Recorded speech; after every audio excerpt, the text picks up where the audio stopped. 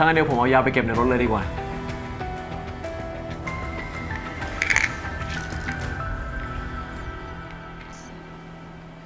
เห็นไหมคะ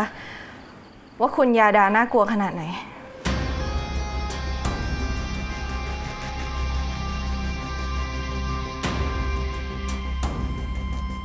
คิม คิมต้องเห็นใจดานะ ดาไม่ได้จะทำร้ายคุณต้องรัก แต่ดาโดนบังคับอะ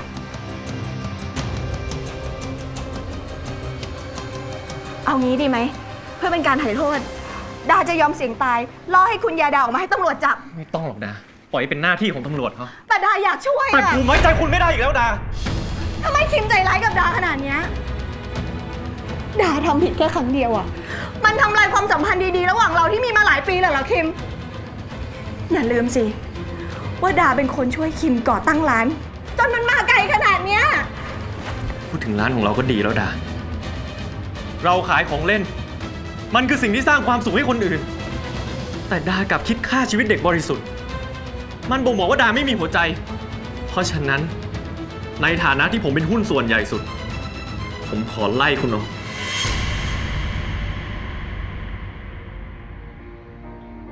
คิม เรื่องนี้ฉันจัดการเองทอย คุณไม่ต้องห่วงนะ ผมจะคืนเงินหุ้นส่วนกับกำไรให้ตาอย่างเต็มที่เพื่อเป็นการตอบแทนมิตรภาพที่ผ่านมาของเรา แต่นับจากนี้ มันจะไม่มีอีกแล้ว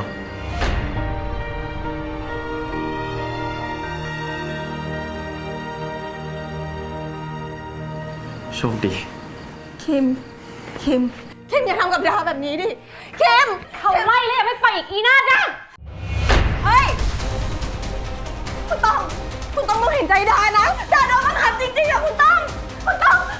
เลิกพูดได้เลยว่าโดนบังคับ เพราะไม่มีใครบังคับแกให้อาบน้ำแต่งตัวขับรถมาถึงที่นี่ แล้วเอายาให้เพื่อนฉันกินออกมาเดี๋ยวนี้โอ๊ยโอ๊ยไปแกกะใช่ คนที่มีมนุษยธรรมนะเขาไม่รอให้จับได้ เราค่อยมาสำนึกหรอกไอ้นางผีบ้าใครอยากเล่าออกไปข้างนอก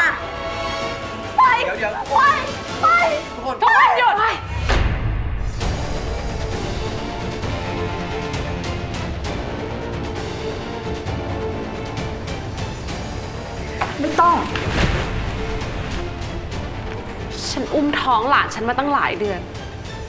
ผ่านความลำบากอะไรมาบ้างแกรู้บ้างไหม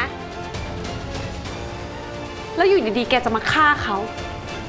มันไม่ง่ายไปหน่อยหรอ มันใจบาป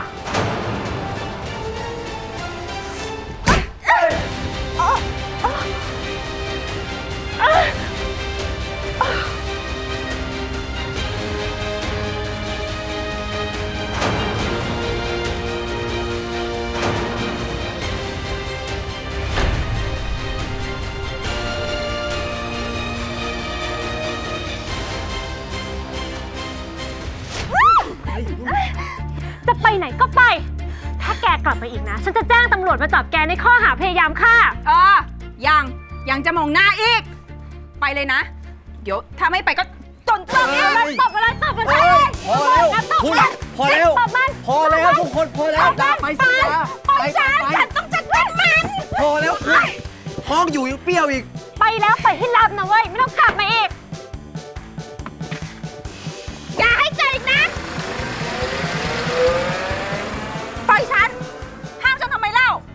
ยังไม่สะใจเลยอะ พอได้แล้วคุณ ไม่ต้องซ้ำเติมกันแล้ว แค่นี้ดาวเสียใจมากพอแล้ว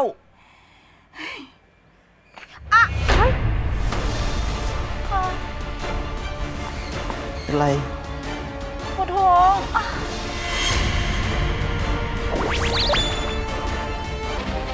เป็นไรปวดท้องอืมเอาเอาเฮ้ย ไม่เป็นห่วงกันเลยเหรอ จะ เป็นห่วงทำไม เมื่อวานกินมาดันเป็นกิโลเลยอะไม่ปวดท้องก็แปลกแล้วฉันจะกินอะไรก็เป็นเรื่องของฉัน แต่นายเป็นพ่อของลูกฉัน นายต้องห่วงกับบ้างสิวะ คุณทอยก็ดูเครียดๆนะเว้ย เครียดเรื่องนางดารันนะสิ อย่าบอกนะว่ายังรักกันอยู่ ถ้าเจออีกแล้วก็ตายแน่อีปวดท้องอีกแล้วเหรอ ไปให้หมอเทพดูไหม โอ้ไม่ต้องไม่ต้องฉันปลุกมามามา